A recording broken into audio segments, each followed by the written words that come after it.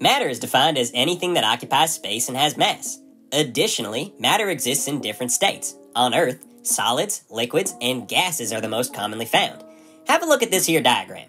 Solids have a definite volume and shape. Liquids also have a definite volume, but take the shape of their container. Gases spread out freely, assuming both the volume and the shape of their container. And then there's plasma, most commonly found in stars, but also found in lightning strikes and auroras. So if it's all just matter, how do we tell the difference between water and Sprite cranberry?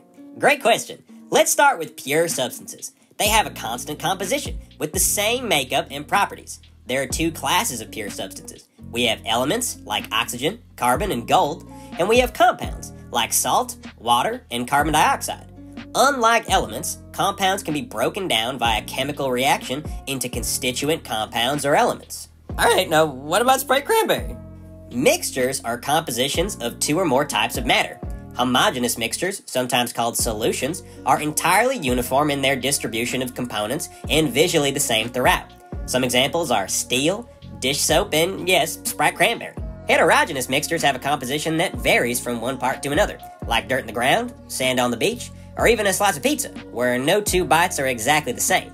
You can tell it's heterogeneous because different samples taken from the same mixture won't be identical.